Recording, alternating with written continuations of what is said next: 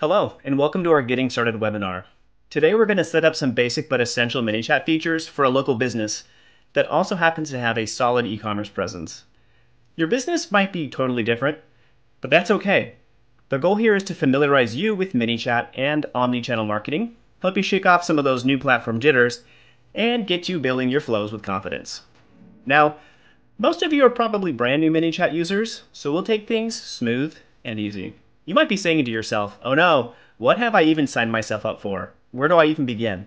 How am I supposed to use this? How are we, why are we even on the earth? I can answer some of those questions. ManyChat connects you to customers using the mobile devices they use every day, all day, via SMS, email, and the world's most popular messaging platform, Messenger by Facebook. We call that glorious combination of marketing channels omni-channel.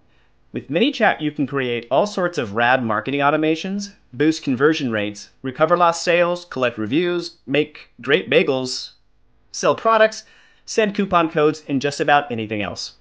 Fletcher Goods is a brick and mortar outdoor equipment store in Sonoma County, California. Think REI, only really local. They've been in business since the early 90s, but when the pandemic hit, their e commerce site really took off and they've been fulfilling orders from all over the country. It's a really exciting time for them, but it's also a lot to handle. We're going to use ManyChat to up their game in the short time that we have today. Our e-commerce customers use ManyChat in hugely varied, really interesting and effective ways. But there are a few standout features that everyone seems to agree are especially effective. Okay, the first is our customer chat widget, which sits in the bottom right corner of your website and basically connects web visitors directly to your business's messenger account. That sounds pretty basic, but it opens up a whole host of marketing opportunities. You can automate the chat so that your ManyChat bot automatically answers frequently asked questions. You can use it to collect emails and phone numbers to build your contact lists. You can also create interactive product guides. Or if you don't want to automate absolutely everything, you can let customers chat directly to you with the live chat feature. Website visitors don't even need a Facebook account to chat thanks to the guest mode feature, though if they're logged into Facebook, it does make collecting info like name, email, and all that stuff a lot easier. Okay, let's get this show on the road.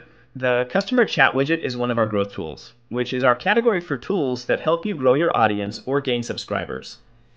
Head on over to automations on the left hand side of the screen. Um, we're always updating ManyChat as a platform, so it could be called something else, but we'll try to keep this video up to date as well. So go to flow, hit new flow, then we'll give it a name. Any conversation or flow you build within ManyChat has to start somewhere. There has to be some way for your customer or subscriber to enter into that flow or conversation. And that's what a starting step is. In this case, we'll use as our starting step the trigger customer chat. Now, the single most important thing you do here is to install the JavaScript snippet. Without this, it just ain't gonna work. So put in your website's domain address and hit add and then next. And head on over to your CMS, your content management system. That could be WordPress, Shopify, Wix, Squarespace, something you've made from scratch. But they'll all have some place that you can paste in a code into your header. So if you're afraid you might explode your website, uh, check with your web developer before you get it over your head. It's a good idea.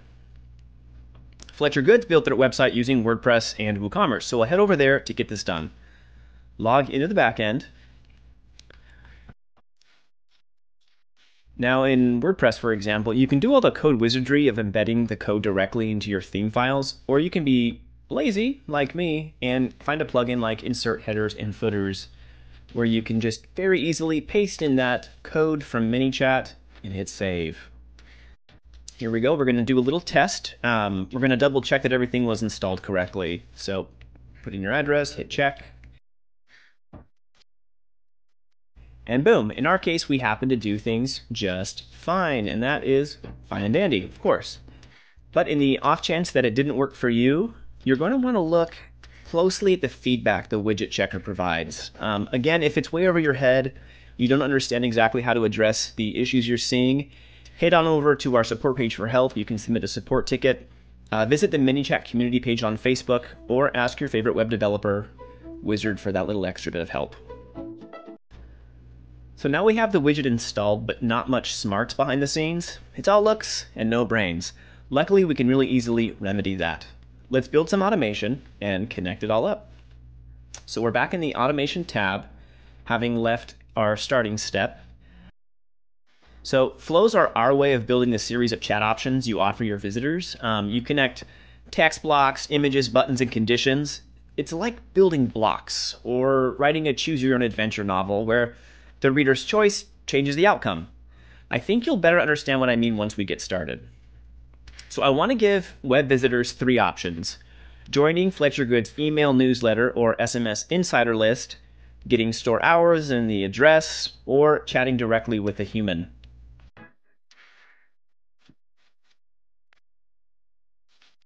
First, we'll enter some welcome text.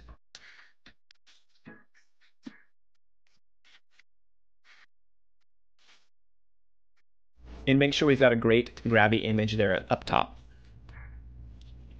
Everyone likes a good button. Each button represents a dialog choice you offer your customer, and you can connect buttons to all sorts of other content blocks.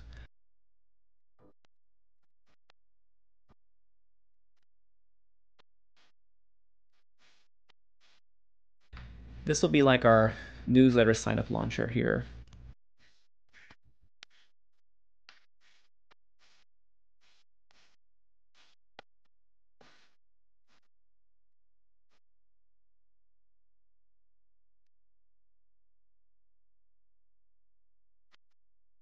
Got a great image, got my text, and I'll set up the email sign up button first.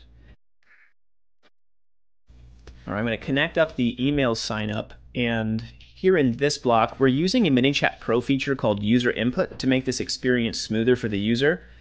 But if you're still on a ManyChat free account, you can choose to have them into their email manually. And here we can just save the email to a system field and it's super important that we let ManyChat know that these people have opted in to receive email from us. It's our way of basically keeping you accountable. So you'll always want to do this. And obviously when you're email marketing, you want to have that email opt out. It could be an unsubscribe button in your email, but that unsubscribe button could also lead someone back into a flow here in ManyChat where we set the email opt out action.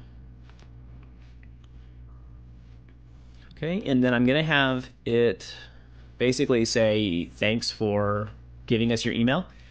And we'll have a button that'll point them right back to the start.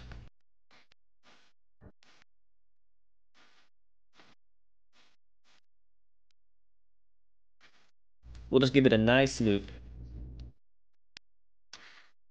Now we're to do the same exact thing for our SMS insider list, right?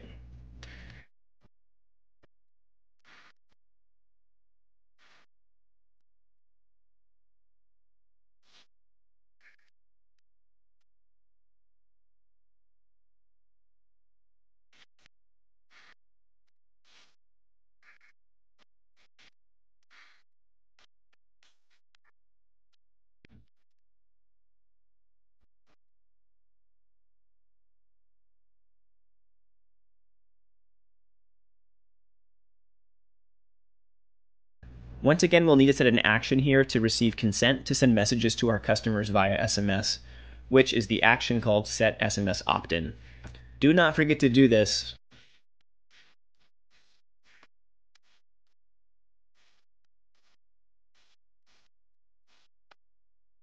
Okay, so we're now collecting phone numbers and email addresses. Uh, that data is connected to the customer's entry over in the audience tab.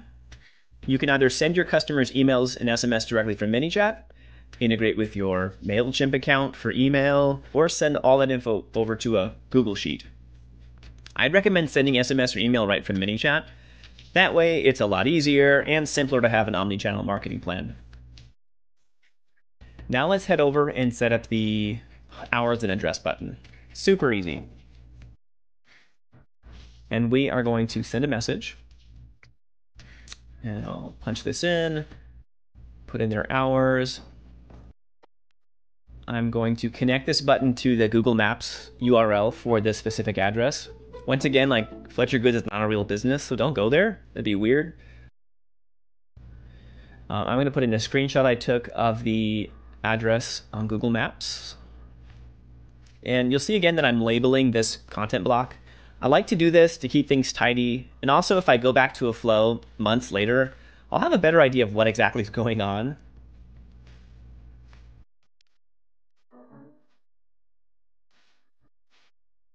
Okay, and lastly, we're going to set up that talk to a human button.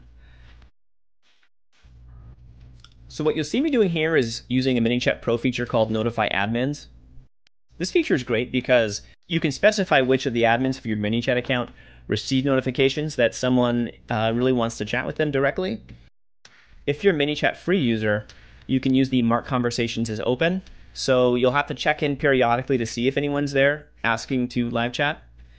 It's not as convenient, but it is one of those things that differentiates the pro account level from the free. So I had this idea that, you know, after someone has asked to talk to a human being, you know, it might take a little bit for you to hop on your phone and start chatting away with them. So why not encourage them to check out the Fletcher Goods product catalog? Um, but you could really get savvy here and, you know, quiz the customer as they wait. Keep them engaged. Um, really think of different ways you might want to maintain someone's interest while they wait for a um, real person to come along. So we'll put in a button, you know, browse catalog. You never know, they might want to. And when the button's pressed, it'll be a website. There we go. Looking good. Once again, I'm going to label things. Just, hey, compulsive labeler, added an image. Really, the, the more images and emojis and stuff you use in your messages, the better. People seem to really respond to that kind of thing. So it looks like our flow is all connected. Hit publish. I should say if you haven't set something up right, that button is not going to work, but it will tell you what you need to go back in and fix. So we'll take a look. Click on your starting step, double check that you've uh, hit the toggle button there to enable your customer chat widget. It might be turned off. Okay, so our flow's fine and dandy, we've published.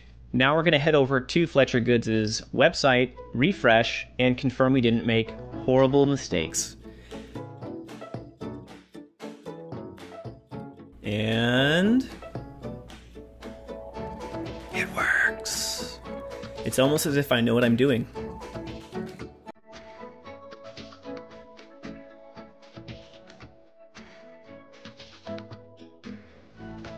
That was fun, but I'll be honest, we've barely scratched the surface of what you can do with ManyChat.